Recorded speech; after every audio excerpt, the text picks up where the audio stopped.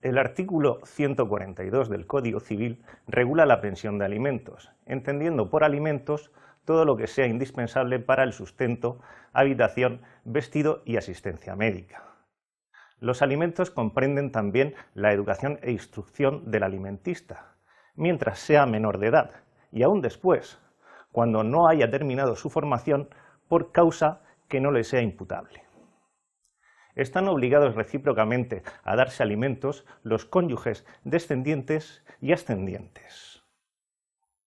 La pensión de alimentos toma una gran importancia en el supuesto de disolución matrimonial, pues como señala el artículo 110 del Código Civil, el padre y la madre, aunque no obstenten la patria potestad, están obligados a velar por los hijos menores y prestarles alimentos.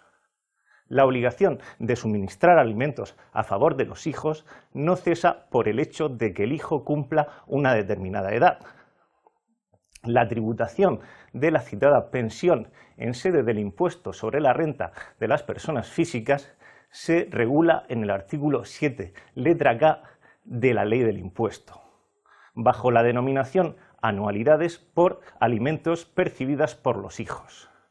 Indica la norma que se tributará por dichas anualidades cuando estén determinadas en una resolución judicial, sin que se pueda aplicar reducción alguna en su base imponible por el importe de estas cantidades, por parte del que los pague, y siempre que la cuantía de los alimentos no supere la cuantía de la base imponible.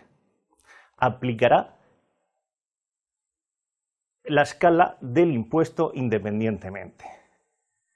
Además, no constituyen renta para los hijos estas cantidades pagadas como pensión de alimentos.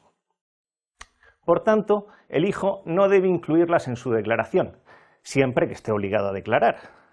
Y sin embargo, el padre o madre que las paga aunque no pueda reducirlas de su base imponible, aplicará la escala del impuesto separadamente al importe de las anualidades por alimentos a los hijos. La consecuencia lógica de ello es la aplicación de un tipo medio de gravamen menor, debido a la escala progresiva del impuesto sobre la renta de las personas físicas.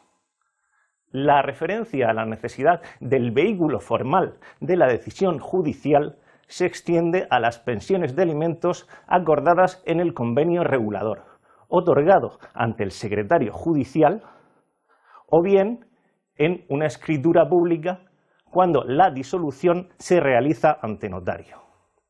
En ausencia de decisión judicial o resoluciones equivalentes, no resulta de aplicación el régimen consistente en someter a estas cantidades separadamente a gravamen para evitar la progresividad del impuesto para los padres y además no están exentas para el hijo. Asimismo, la aplicación de la escala de forma independiente solo es posible cuando los progenitores no tengan derecho a aplicar el mínimo por descendientes respecto del descendiente al que satisfacen las anualidades hasta el ejercicio 2014 era compatible el tratamiento fiscal de las anualidades por alimentos satisfechas en virtud de decisión judicial a favor de los hijos en aquellos casos en los que el contribuyente ostentaba la guardia y custodia compartida respecto de sus hijos y la aplicación del mínimo por descendientes. No obstante, desde el 1 de enero de 2015, la ley del impuesto, en su artículo 64, ha incompatibilizado expresamente tal posibilidad. Eh, muchas gracias y eh, les dejo.